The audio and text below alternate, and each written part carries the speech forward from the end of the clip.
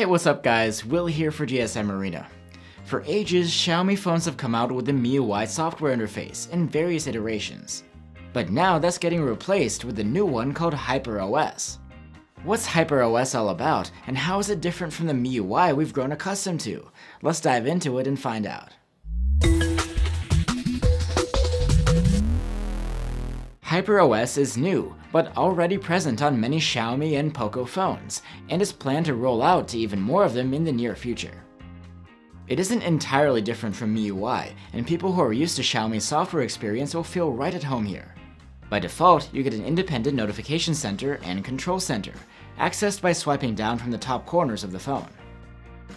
There's support for large folders on the home screen, and they let you organize your apps and still have their icons accessible with a single touch. HyperOS uses quite a few Xiaomi apps, such as the Gallery, the Music app, Mi Video, and the File Manager.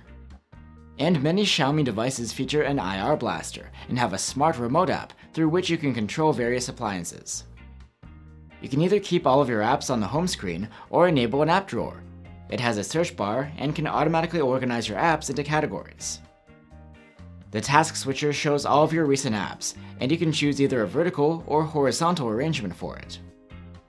From here, you can launch an app into a pop-up window, or as part of a split screen.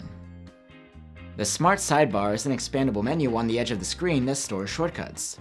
Apps launched from here will automatically be in a pop-up window.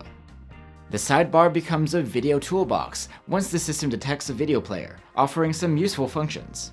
And through the theme store, you can customize the look of your home screen and get new ringtones and always-on display styles. All of those features were already present within MIUI, so what's new in HyperOS? First off, HyperOS brings a bunch of under-the-hood changes and optimizations, which are supposed to maintain peak performance even after years of use. The new OS is more lightweight too, taking up less storage space. As far as aesthetic changes go, there are new optimized fonts. These fonts support various languages, not just ones with Latin-based characters. To further enhance the visual experience, HyperOS smooths out and refines things like textures, animations, and transitions within the interface. New animations around the status bar provide contextual information, like the pop-up which appears while you're charging. The control panel looks different. The quick toggle panel is larger now. Before, in MIUI, you would need to side scroll to browse through these shortcuts. The notification panel is customizable too. You can use HyperOS's card style with full-fledged icons from the apps sending the notification, or the default Android style cards with more minimalist and flat icon styles. New lock screen options are available too. You can either build one from scratch or choose a particular style and adjust it to your liking. With HyperOS, Xiaomi means to follow the AI trend, including features like AI-generated subtitles for your media, speech-to-text during meetings, and real-time voice translation.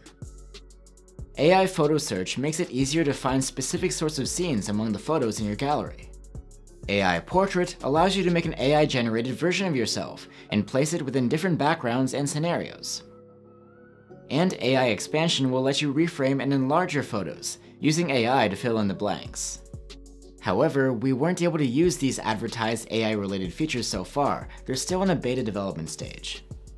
HyperOS uses the self-developed TEE security system, is hardware-level security that stores all of your sensitive data, like passwords and biometrics, on an independent microkernel.